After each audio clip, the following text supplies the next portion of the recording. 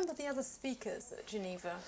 Well, one of the most important speakers at the first conference was Niels Bohr.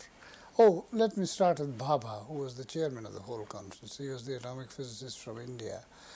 And uh, he was the one who, I think, from our point of view, committed the supreme indiscretion, which was very good, which was very, very helpful to the future generations, that he mentioned fusion in his very first address fusion was supposed to be a hush hush subject, which you were not supposed. It's a very interesting. I was reflecting last night on the sort of times of those. First of all, science was very much more important than it is now. Scientists were much more believed in. There was a science advisory committee, which consisted of Rabi and Bhabha and uh, and a man Goldschmidt, I think, was a member, and there was a Russian. Um, very tall man who discovered the positrons earlier. Um, but uh, I've forgotten his name. But anyhow, these men were sort of supremos. They were looked upon as uh, really the great wizards of the age. And the United Nations organization looked upon them in a way which no scientist has since attained uh, the credibility of. Then uh, at the meeting itself, as I said, Bhabha made that wonderful speech, which led to the fusion being the important subject in the 58 conference. 55 already, it was fusion less. But for the president to make the very first talk on fusion was rather important because it brought the this, the sort of uh, what do you call it the uh, declassification of the fusion uh, business. Um, what do you remember about Homi Bhabha's speech?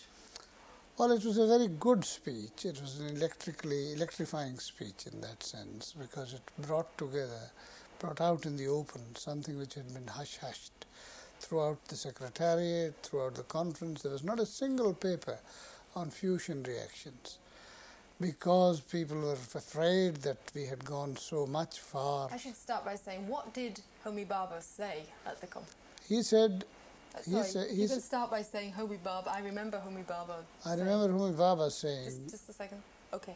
I remember Homi Bhabha saying quite clearly that there should be a whole disclosure of what nuclear fusion can do in terms of producing power, which meant that the whole business of nuclear reactions at the hydrogen end would have come out in the open. And we had not put them at all in the program for one bit at that time.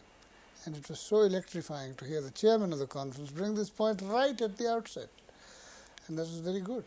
That, of course, worked in three years' time, didn't work then because the conference had been prepared.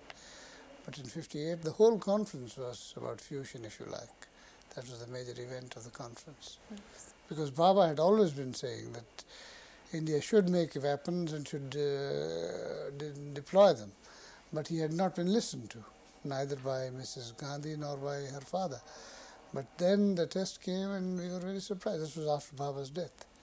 We were very surprised. Thank you, Professor Good.